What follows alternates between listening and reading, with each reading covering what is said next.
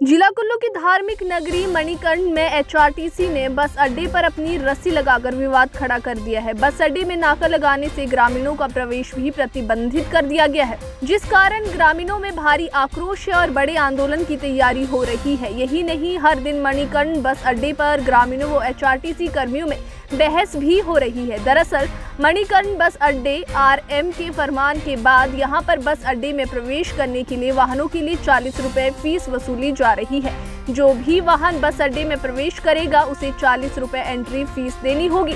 लेकिन एचआरटीसी प्रबंधन ये भूल गया है कि मणिकर्ण गाँव को जाने का रास्ता ही बस अड्डे से है, जिस कारण विवाद खड़ा हो गया है। निगम ने चुंगी लगाकर अब ग्रामीणों से भी उगाई शुरू कर दी है। वे टैक्सी ऑपरेटर यूनियन व स्थानीय ग्रामीणों का एक प्रतिनिधि मंडल ढालपुर में डीसी आशुतोष गर्ग से मिला। और इस समस्या के समाधान की भी मांग रखी। इस दौरान भाजपा के पूर्व प्रत्याशी नरोत्तम ठाकुर व टैक्सी यूनियन मणिकर्ण के प्रधान चंद्रपाल भी उपस्थित रहे। उन्होंने बताया कि मणिकर्ण पार्वती नदी के दोनों छोर पर बसा है। एक छोर में स्थानीय लोगों के होटल, बस अड्डा व कुछ स्थानीय लोगों के मकान है, जबकि बस अड्डे की दूसरी तरफ़ मणिकर्ण बाज़ार, मणिकर्ण गाँव, राम मंदिर, शिव मंदिर, गुरुद्वारा, रघुनाथ मंदिर, नैना माता मंदिर, शिव दवाला सहित गर्म पानी के चश्मे हैं। नरोत्तम ठाकुर और क्या कुछ कहते हैं? वो आप सुनो, चंद्रपाल प्रधान टैक्सी यूनियन का भी क्या कुछ कहना है, वो भी सुनो। तो हमारे को एक समस्या आई मनीकरण में। एक तारीख को एचआरटीसी के कुछ कर्मचारी आए, उन्होंने कहा कि यहाँ पर चुंगी लगेगी।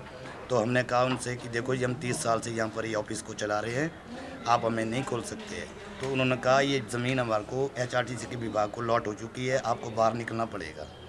तो उसके कारण उन्होंने कहा कि अगर आपको गाड़ी अंदर लगानी है तो आपको सैंतालीस रुपये शुल्क भरना पड़ेगा ये पर डे का।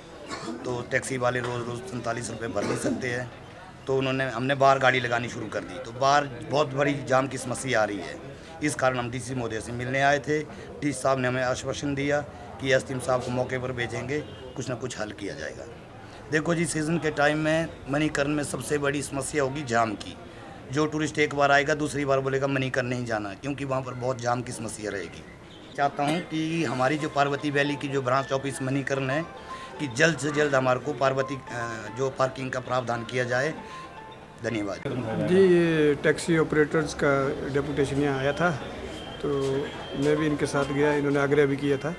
तो डीसी साहब ने हमने बात की कि भाई इनको जो है, या तो जो पहले से जहाँ लगा रहे हैं टैक्सी तीस सालों से जो अभी बस स्टैंड बना हुआ है।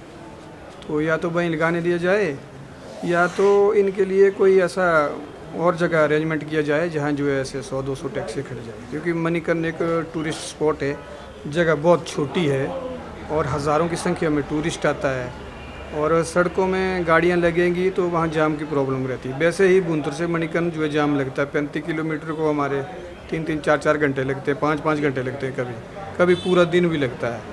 तो पहले से जाम की समस्या है और जब से एच आर टी सी ने वहाँ चुंगी लगा दी है, इनसे डेली सैंतालीस रुपये लेना शुरू कर दिया है। ये कभी काम भी नहीं होता तो इतना देने में सक्षम भी नहीं है, इनकी मांग जो जेन्यून है हमने डीसी साहब से बात की है। तो डीसी साहब ने कहा है कि कोई मुझे अल्टरनेट ज़मीन बता दो, चाहे फॉरेस्ट लैंड हो, वहाँ पर जो हम जो टैक्सी स्टैंड बनाएँगे। तो हमने आग्रह किया कि तब तक जो इनसे जो चुंगी वगैरह नहीं ली जाए, जब तक वो दूसरा अरेंजमेंट नहीं होता है।